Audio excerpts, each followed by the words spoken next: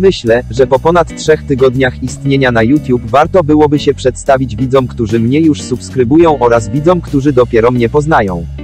Jak mogliście zauważyć nazywam się Raptorman2137 i do tej pory mój content polegał na robieniu różnej jakości memów z dinozaurami w roli głównej. W tym materiale chciałbym wam powiedzieć o tym czego możecie się spodziewać na tym kanale. No to jak formalności mamy za sobą, to weźcie sobie kubek z waszą ulubioną kawusią. Rozsiądźcie się wygodnie na swoich fotelach i zaczynajmy.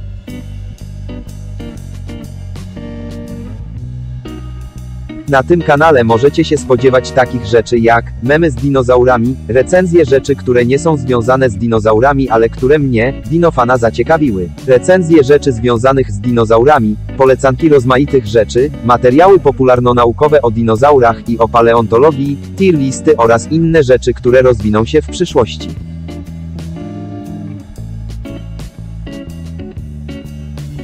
Filmy będę się starał wstawiać tak często jak tylko mogę, ale na pewno to nie będzie taka częstotliwość jaka była w wakacje. Gdyż jak zapewne wiecie rozpoczął się nowy rok szkolny, więc będę miał na głowie dużo spraw, których tak łatwo nie ściągnę.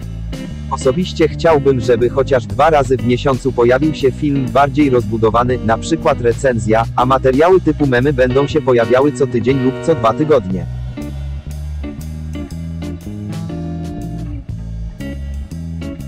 Bardzo dziękuję moim subskrybentom za danie mi subskrypcji, do czego zachęcam również nowo przybyłych i zainteresowanych moją zawartością widzów.